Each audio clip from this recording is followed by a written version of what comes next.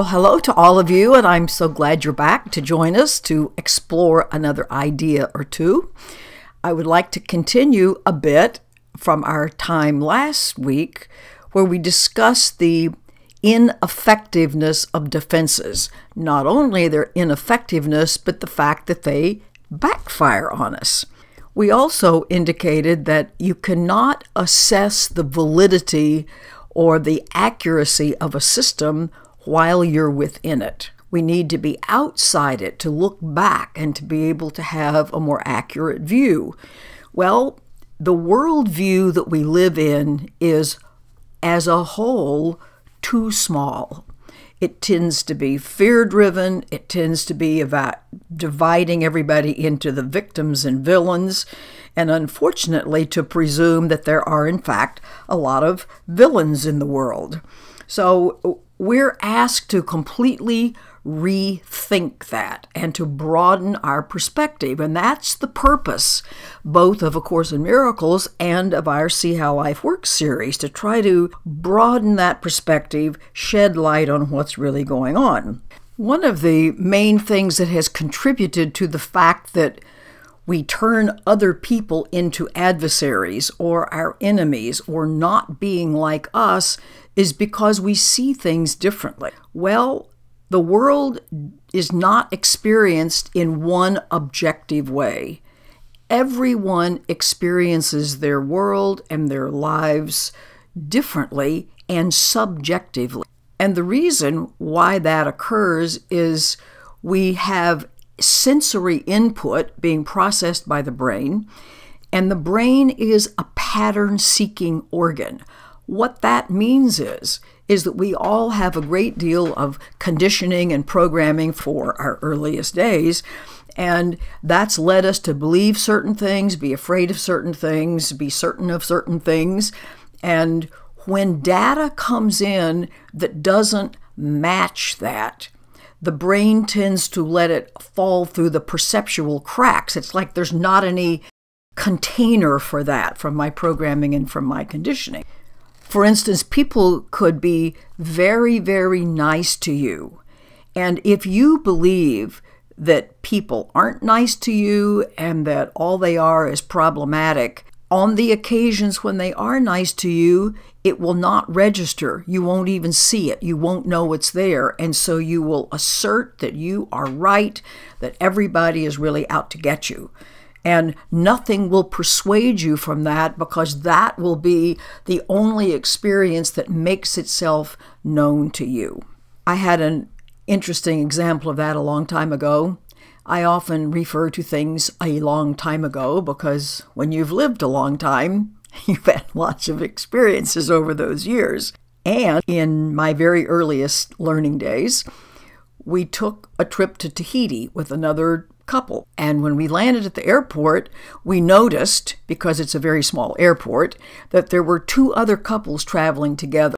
And we kept noticing these same two other couples wherever we were, whether we were in a hotel in Bora Bora or on the beach, wherever we were, we would see these people. And lo and behold, when it was time to come back, there they were. They were on the same flight out that we were, and we couldn't help but hear them recount their experience. They said, This was a really crummy vacation.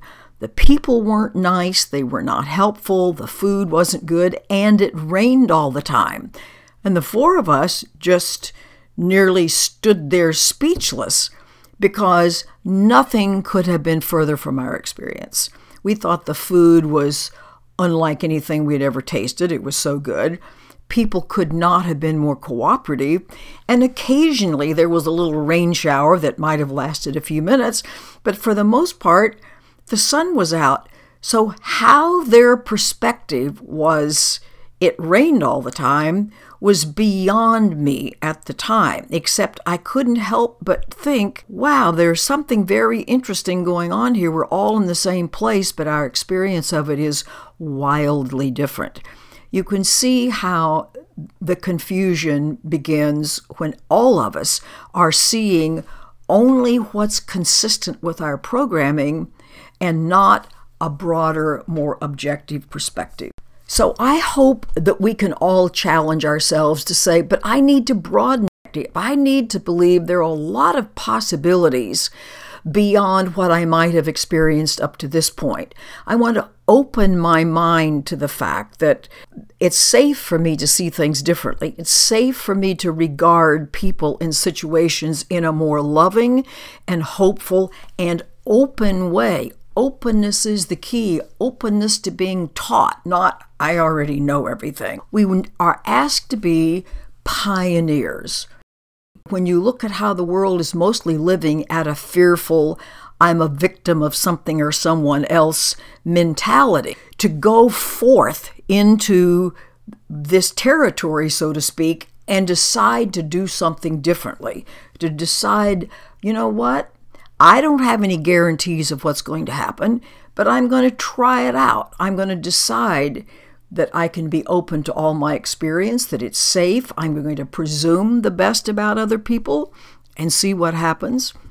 And so, to support both the fact that this is going to have a happy ending and to encourage us all, I want to tell you a little story. This is a greatly abbreviated version of a very long and fascinating story. One of my ancestors I particularly admire. His name is Pierre Laclede. He was born in what is now the country of France in 1729. And at that time, the practice of primogeniture was still in force, which meant that the first son in every family got everything, and none of the other children got anything. In other words, that was to keep obviously land and other possessions intact instead of being divided into smaller and smaller pieces. So women were married off. Other younger men would go into the army or the church. What else was there to do when you had no other resources? Well, this particular great great great great grandfather decided when he was very young, knowing the situation, that he would go to the New World. This is long before there was a United States. There was a few little English colonies, but there was no country yet. But he would come to what is now the United States, the New World, and found a city. This is a really big dream under the circumstances. First of all, you have to get yourself across the Atlantic Ocean. Now we just hop on a plane and fly over. Then you had to come over on those dinky little sailing ships, and that in itself was a quite an adventure. He came to New Orleans, which was the only French speaking place he could come to, met people, established his business, did well. He and his partner were then given the fur trading rights to everything west of the Mississippi River that didn't belong to Mexico, whatever that was. Nobody knew. They just knew there's a big bunch of land there, but there were no maps. So who knew? So this man would ride horseback from New Orleans up and down the banks of the Mississippi River looking for the perfect place to establish his outpost for trading with the Indians and the place that met all his criteria, what is now the city of St. Louis. So he was he did indeed found his city.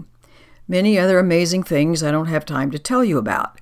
But germane to our story is that this man recognized the power and the value of befriending everybody, including the Indian tribes. After all, he's going to be trading with the Indian tribes. Now, he was not given any guarantee. It's not like all these Indians were informed ahead of time that this fellow is coming, but he trusted in being open, in reaching out, in following his guidance. It was only time in the history of the United States where there was a cordial and respectful relationship between the white settlers and the Indian tribes. The man was a relationship genius.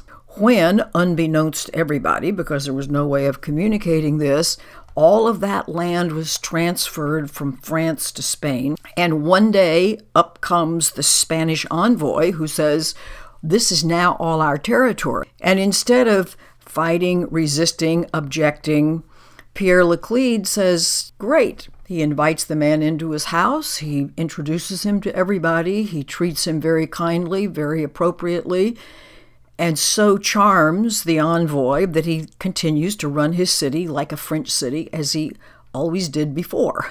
so, one friendly response to situations after another served him enormously as he moved forward in that great open pioneering spirit geographically. And we're invited to do the same thing in psychological territory. The world itself is pretty much explored, but we have not yet made inroads into exploring and expanding and updating our psychological world. And we're asked to do the same thing open up, be adventurous, see what happens when you decide to see the best in everyone instead of cowering in fear before them and closing down and living a small, fearful, victimized life. We deserve so much better. We can have so much better. Nobody keeps anything from us except ourselves. Because remember, when I'm living from that fearful, insulated, defended position, I'm keeping my energy frequency down. And then I will selectively see things. Selectively see is the key to things that I don't like seeing. It becomes an unhappy, small, limited world. But I could clear the fog out of my mind and see something differently and recognize opportunities and friendship possibilities that have always been there. To give you one last metaphor for that, when I first went to work for IBM back in the olden days in the early part of my career, when one first went to work for them, you were shipped off to basic training, so to speak, for two months, and our training happened in Seattle, Washington. And you may or may not know that in Seattle, in the fall, the weather is gray and drizzly and foggy and wet. It was that way when we arrived, and it remained that way for about the first five weeks we were there. Then, the third week in November, the sun came out for the first time. I looked out the window that morning, and there, to my utter astonishment, was Mount Rainier. Now, I theoretically knew Mount Rainier was in the Seattle area but I had no idea that it looks like it grows right out of the middle of downtown. It is so close and so gorgeous and so huge. And most importantly, it had been there the whole time. I couldn't possibly have known that. You couldn't see it. You couldn't see it because of the fog. And we can't see all that's here for us because of the fog in our minds. And so we're asked to be pioneers in clearing that fog, deciding to open up, deciding to be courageous, deciding to reach out to the best in everything and everyone, up the frequency of our energy field, notice how differently our lives can unfold. And each one of us is called to do that one at a time. But as each of us do that, we open the way for others to follow. We, in a sense, prove that it's safe to do and much better than living a little small defended life. Thank you for listening. We'll talk about some more things next week. Bye.